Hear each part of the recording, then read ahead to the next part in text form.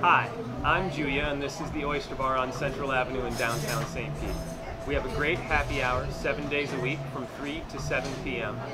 We have $5 20 ounce mugs on the entire draft beer list, which includes great local, craft, and imported beers like Guinness, Stella, and the Blue Point Toasted Lager. House wine is also $5 a glass, and we have martinis on special at $5 as well, made with the best ingredients, including Smirnoff flavors and Pinnacle Gin.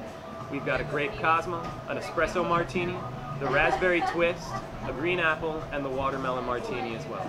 Plenty of options for you to choose from.